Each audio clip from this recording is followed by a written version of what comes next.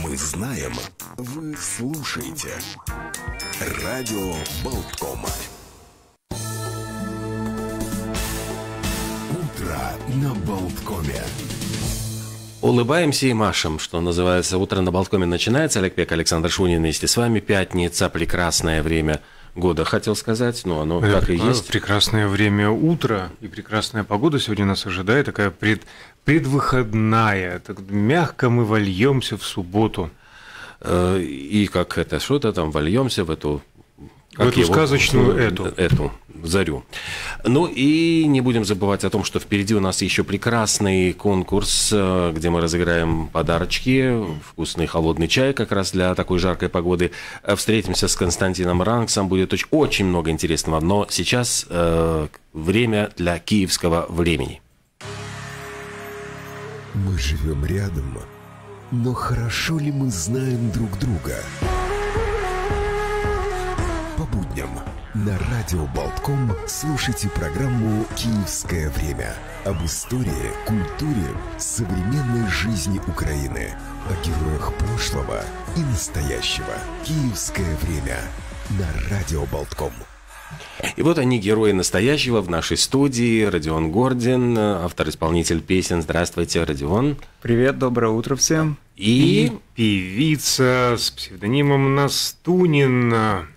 Доброе утро. И раскроем тайну Настунин. На самом деле зовут Анастасия. Анастасия Яценко. Доброе утро, доброго ранку. Спасибо, что а, нашли время в это очень сильно раннее для э, исполнителей да, время присоединиться к нам, да еще вживую, да еще и в студии дорогого стоит. Мы за ламповое исполнение, да, и э, очень э, рады снова оказаться здесь с вами, с умными и красивыми людьми. обмен А, комплиментами состоялся. Сегодня состоится премьера песни Настунин. Ну, в общем-то, она не настолько олдскульная, как сейчас прозвучала в твоем исполнении про ламповое вот это вот все. Наоборот, э, ритмы современной эстрады. Ну, Ан- Анастасия, она современная девушка, я-то чуть-чуть ламповый уже э, в силу многих обстоятельств. Ну да, ну вот мы, мы здесь. Мы, в принципе, мы за живое общение, мы по старинке. Анастасия, может быть, несколько слов расскажите о себе, каким образом сложилось так, что вы начали заниматься музыкой, вот, э, и что, вот как сложилась вот ваша карьера в Украине, и теперь здесь, как вы И в планируете? конце концов, что привело вас к Родиону? Да, конечно. А, Я занималась музыкой всю свою жизнь. Вот. Это, наверное, призвание, если так можно сказать. А когда ощутили его? Вот Когда ощутила? Ну, если быть точной, то мое первое выступление было в 4 года, которое произвело большой фурор, и с этого времени я не переставала петь ни и на один производить день. фурор. Да. А, В основном я занималась э, фольковой музыкой, народной музыкой, пела в хоре, в ансамблях, вот. Но уже когда приехала в Ригу, вот, э, я познакомилась с Родионом, и мы решили сделать общий проект. Вот, общий проект — это сегодняшняя песня. Ам, Ну, подождите, это ограничивается одной песней или проект может продолжаться? Мы, да, мы работаем сейчас, э, я, может быть, еще добавлю, от, как это с моей стороны все происходило, то есть а, получилось так, что у меня была идея, концепт песни, которую вот мы сегодня услышим в, исполнении Насти. Изначально я вообще задумывал эту песню как песня на латышском языке, которую я показывал нашим местным артистам, и одним из этих артистов оказалась Катрина Гупола ам, которая на тот момент была занята фестивалем, и она сказала, я сейчас просто не потяну заниматься и этим, и этим. И она предложила, она говорит, у меня есть девочка из Украины, которая могла бы здесь очень классно в- в- вписаться в эту всю композицию, у нее такой очень необычный вокал. И м, ну, мы, мы встретились, я послушал, мы сделали пару пробных таких э, записей, и я понял, что это что-то, то, что я бы точно не делал бы сам, вот сам то, чтобы... То, что я бы никогда не сделал сам. И я подумал, что это очень интересный опыт, и это то, что может быть такое необычное, и мы решили, в общем, это сделать, как оно будет, и получилось, э, мне кажется, мы все сказали «Вау», когда мы услышали то, что мы услышали. И я до сих пор не знаю, что будет с этой песней. То есть Александр мне сегодня сказал, что ему очень понравилось. Ну, я еще классно. вчера сказал, сегодня повторил это абсолютно искренне. Вчера эта песня у меня звучала на репите. Я был, ну не то чтобы удивлен, это несколько принизит твои, может быть, предыдущие достижения. Удивлен я не был, я был э, обрадован. Mm-hmm. Я действительно получал наслаждение разом за разом, вот как те самые мышки во время известного эксперимента, там нажимал не на кнопочку mm-hmm. дофаминные всякие да. дозы. Вот твоя песня, ваша песня, вот эта вот дофаминная доза. Ну да, я тоже, я как э, музыкальный продюсер, я тоже всегда стараюсь э, каждый раз делать что-то, чего я не делал ранее, и сделать это лучше, чем это как презентация новых телефонов, да, это самый лучший телефон, который мы сделали mm-hmm. до этого. То же самое я пытаюсь сделать а с песнями, что каждую песню, которую я делаю, я говорю о том, что это лучшее, что я делал на сегодня.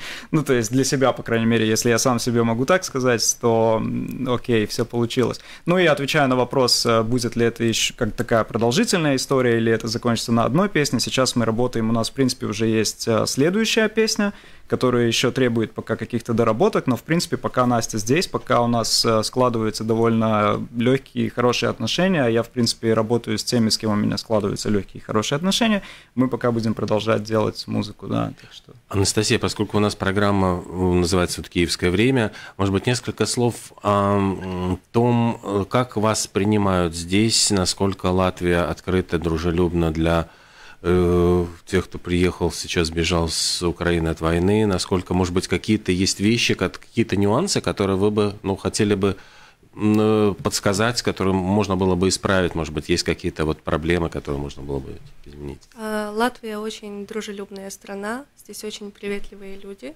Все абсолютно идут на помощь, если что-то вдруг нужно, и даже если не нужно. А, вот. А, в принципе, я могу только сказать спасибо за такой теплый прием и что здесь э, все люди, люди открытые. Вот. А легко ли вам найти в Латвии себе применение? Все-таки певица, все-таки взросшенная на украинском фолке? Э, ну, сейчас, я думаю, настало время экспериментов, и то, что можно чуть-чуть отойти от фолька, эм, ближе к эстраде, наверное. Это мне интересно с этим поработать и как-то посмотреть на себя с другой стороны. Удается mm. ли вам выступать перед латвийской публикой, как принимает она, вот, вот то есть с каким репертуаром, с фолк-музыкой или, может быть, с какими-то другими? А, да, э, я уже выступала в Латвии, и в основном это украинские народные песни, mm. которые публика очень хорошо принимает, неважно, что там непонятные тексты, потому что другой язык, но музыка, она объединяет. Тебе не обязательно знать язык, чтобы получить удовольствие и наслаждение от, э, от того, что ты слушаешь. В таком случае вопрос обратного характера. Удалось ли вам в какой-то мере познакомиться с латышскими народными песнями? Да, удалось когда Катерина Гуполо, она организовывала фестиваль, и она сделала такую э, коллаборацию латышских и украинских музыкантов, когда мы вместе пели. Вот, и да, у меня был опыт, что я пела латышскую народную песню. Даже. На латышском языке? На латышском языке, mm. да. И вы понимали текст уже на тот ну, момент, да, более-менее? да, да, нужно же знать, о чем ты поешь. И что это была за песня?